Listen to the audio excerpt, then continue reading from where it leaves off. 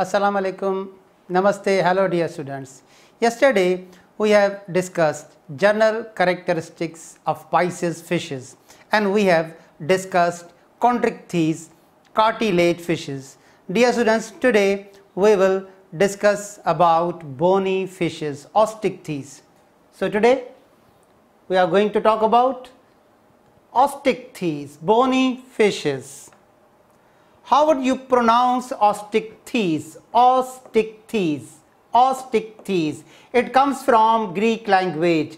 Osteon means bone plus ichthus means fish. They are known as bony fishes due to the nature of their endoskeleton. Dear students, their endoskeleton is mainly bony. So they are known as bony fishes. Now two examples of bony fishes. One known as Hilsa is the genus commonly known as fish, and second example catfish.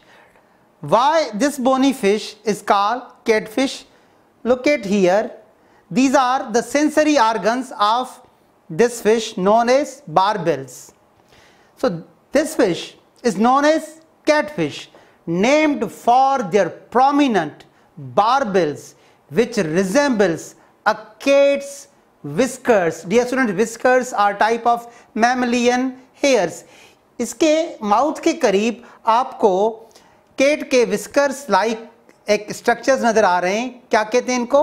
Barbels what is function of barbels sensory organs near mouth sensory organs near mouth dear students ये जो catfishes पाए जाते हैं पानी में, ये ऐसे पानी में पाए जाते हैं, ऐसे वाटर में पाए जाते हैं, जहाँ पे यूजुअली डार्कनेस ज़्यादा होती है। तो इनको फ़ूड की सर्च करने में डिफ़िकल्टी होती है। तो वहाँ पे बारबल्स काम आते हैं।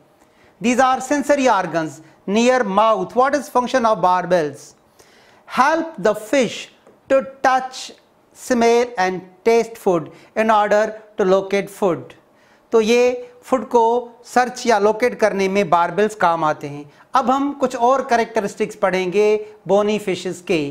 Where do they live habitat place of living they are found in both marine water as well as fresh water dear students अब हम इसके स्केल्स पढ़ेंगे। Exoskeleton are the scales of fishes and we are talking about the exoskeleton of bony fishes it is found of cycloid scale which are circular इन shape.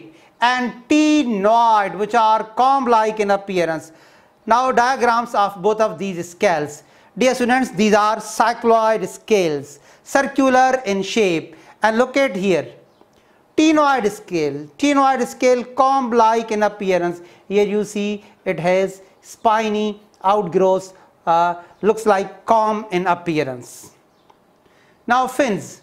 Dear students, इनमें paired fins भी पाए जाते हैं और unpaired fins भी। Paired fins are pectoral and pelvic while the unpaired fins are dorsal ventral and caudal अब हम इनको डायग्राम पे क्लियर करेंगे। Hilsa this fish is commonly known as pala look at here these are the fins known as pectoral fins dear students ये paired fins होते हैं। Pectoral fins one pair of fins located behind gills and what is function of pectoral fins used for balancing and these are the pelvic fins again a pair one pair located on the ventral surface and act as brakes and look at here this is unpaired dorsal fin unpaired dorsal fin fish को ये fin stabilize करता है an unpaired fin on the back stabilize the fish against rolling and dear students this one this one ventral fin also known as anal fin Ventral fin also known as anal fin an unpaired fin located posterior to the anus used to stabilize the fish while swimming और tell में जो fin पाया जाता है उसको कार्डल fin कहते हैं caudal fin unpaired fin used for steering now gills how many pairs of gills four pairs of gills Dear students bony fishes में चार पेयर्स पाए जाते हैं गिल्स के और उनके ऊपर एक कवरिंग होता है। उस कवरिंग को अपर क्यूलम कहते हैं gill cover gill cover is present अब हम इसको डायग्राम पे क्लियर करेंगे। डियर स्टूडेंट जैसा कि मैंने कहा कि four pairs now you see here one two three four one two three four four pairs gills के पाए जाते हैं। और इनके ऊपर एक गिल कवर है। This gill cover is known as operculum this gill cover is known as upperculum. Now these fishes draw oxygenated water by the way of their mouth. जब वाटर माउथ से अंदर आता है तो ये अपना पहले fishes operculum gill cover close कर देती हैं when the water is flowing over the gills the fish takes in water through gills and the water is moving over the gills उसके बाद ये अपर क्यूलम के जो वाल्व्स हैं वो ओपन कर दिए जाते हैं look at here the valves of the upper culum are open. So water is expelled from gill cavity और जब पानी वाटर इनके ऊपर फ्लो करता है तो यहाँ पे गैसियस एक्सचेंज होती है। So bony fishes use four pairs of gill for gaseous exchange और डियर स्टूडेंट्स इनमें स्विम ब्लेडर पाया जाता है, जो कि इनको फ्लोटिंग में हेल्प करता है। Swim bladder air bladder present for buoyancy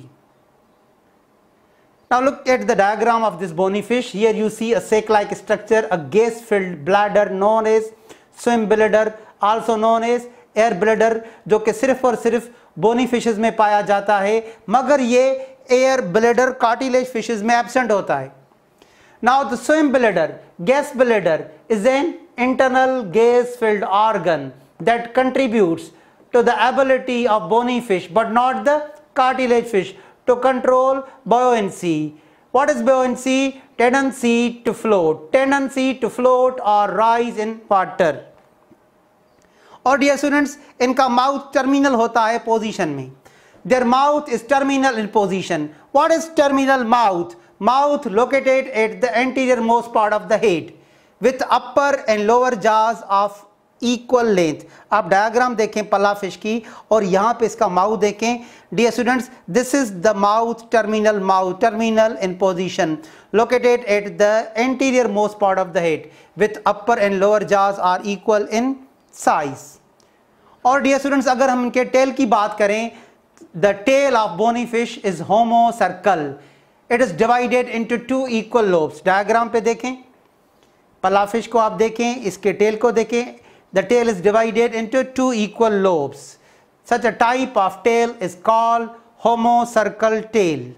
And what are the examples of uh, famous examples of bony fishes? Hilsa, commonly known as palla, catfish, commonly known as khaga, salmon, known as trout, and dear students, hippocampus seahorse. Look at the diagram. This is hippocampus seahorse. And why this fish is named seahorse? Seahorse named for their horse like head. तो dear students हमने characteristics पढ़ लिए। हमारे text book में एक order रखा गया है बोनी फिशेस का डिप्नोआई ये ऐसी फिशेस हैं जिनमें लंग्स डेवलप हुए एवोल्यूशन हुआ and their lungs are modified air bladder तो सबसे लास्ट में हम बोनी फिशेस का एक ग्रुप पढ़ेंगे, एक ऑर्डर पढ़ेंगे डिप्नोआई जिसमें लंग फिशेस पाए जाते। So in the last we will discuss lung fishes A small group of fishes called lungfishes belonging to order Dipnoi are also included in class Osteichthyes. Dear students, ये भी bony fishes हैं. Look at this fish.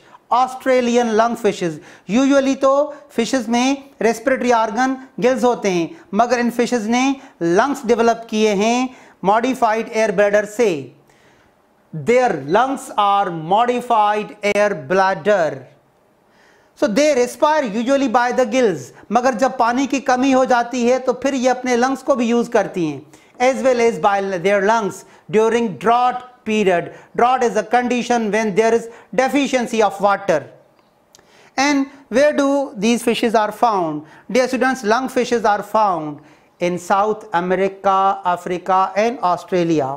So dear students, today we have discussed characteristics of bony fishes, osteichthyes and an order of lung fishes, dipnoi. It is also included in bony fishes. Thank you dear students, wish you all of the best.